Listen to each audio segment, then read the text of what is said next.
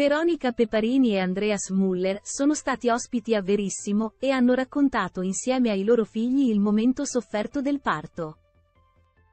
I neogenitori Veronica Peparini e Andreas Muller sono stati ospiti a Verissimo la scorsa domenica 19 maggio e hanno raccontato come stanno affrontando i primi mesi con le loro gemelline.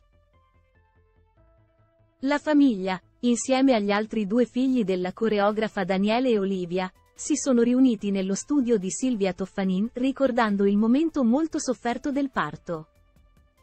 Andreas Muller a Verissimo ricorda la sofferenza dopo il parto. Veronica Peparini non reagiva.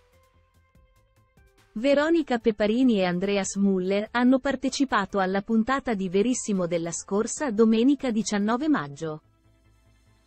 La coppia ha accolto da pochissimi mesi le loro gemelline Penelope e Ginevra e hanno deciso di portarle con loro nello studio di Silvia Toffanin.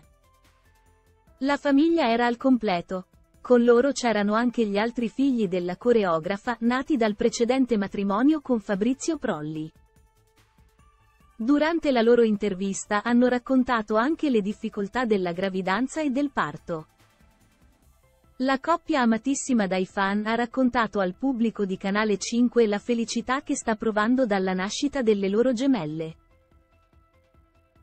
Ho questo sorriso da un mese e mezzo, sono molto contento, ha commentato il ballerino. Pensavo fosse stato peggio con quattro figli. Va tutto bene, non siamo incasinati. Non so come faccio, ma mi viene naturale. Andreas è bravissimo, vuole fare tutto lui, è un mammo.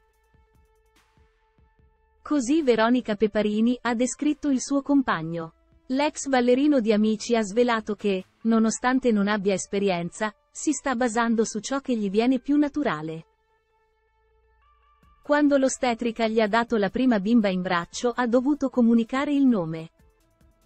Ho assistito al parto, non sono svenuto. Però lei non reagiva, fissava il vuoto e mi sono spaventato, ha continuato a spiegare Andreas a Silvia Toffanin.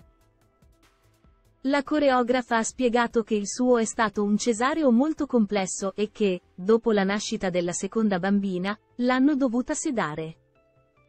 La Peparini ha ammesso di aver vissuto una gravidanza molto difficile, ma tutto ne è valso la pena quando ha potuto stringere le sue bambine tra le braccia. Nello studio di Verissimo sono poi entrate le gemelle e i due figli più grandi della coreografa, Olivia e Daniele. Olivia è una femminuccia, mi aiuta ma ha il suo caratterino. Lei è brava, è dolce, è buona, ha ammesso la neomamma.